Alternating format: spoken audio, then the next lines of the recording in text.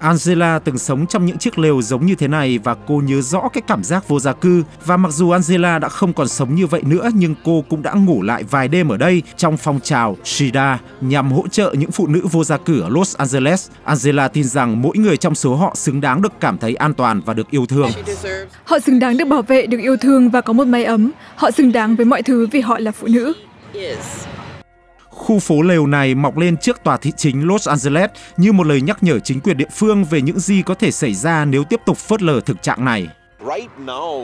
Hiện chúng ta đang ở trong cuộc khủng hoảng vô gia cư.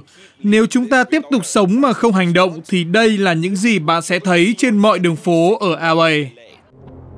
Trung tâm của Los Angeles hiện đã như thế này và nhiều căn lều vẫn mọc lên mỗi ngày. Theo thống kê chính thức, hiện có tới hơn 60.000 người vô gia cư ở Los Angeles. Vào tháng 12 năm 2017, một đám cháy từ các khu lều tạm của người vô gia cư lan ra các ngôi nhà lân cận, thiêu dụi hàng chục căn. Và chỉ vài ngày trước thôi, thị trưởng Los Angeles Eric Garcetti đã lưu ý rằng tình hình vô gia cư thực sự là rất nghiêm trọng. Chúng ta cần phải nhanh chóng xây dựng những nơi trú ẩn khẩn cấp cho những người vô gia cư và chúng ta cần phải làm điều đó ngay. Đây sẽ là điểm dừng chân của họ trong quá trình có được một ngôi nhà thực sự. Thành phố đã bỏ ra hơn 20 triệu đô la để xây dựng các nơi trú ẩn tạm thời, nhưng một số cư dân địa phương lại phản đối cái mà họ gọi là của cho không biếu không cho người vô gia cư.